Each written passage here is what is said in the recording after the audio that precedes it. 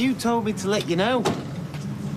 Well, I'm sorry if it's a bad time, but it's about time we got going or he's going to miss his flight. Hi, Ryan. Hey, come see me off. Come to make sure you're actually going, yeah? Where are you going? Why? Yeah, we were wondering. Well, let's see. Ibiza, what do you think of? Sun, beaches, beautiful people, and then Weatherfield. Rain, cobble streets, and the people. You know, don't even get me started.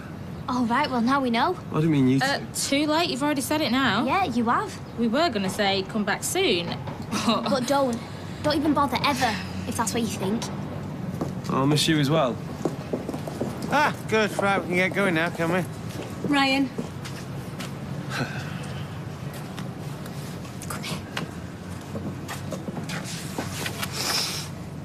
I love you. I love you too, yeah. Look after yourself, all right? I'll be okay, don't worry. Come on, get in. Ring me when you get there. I will, yeah.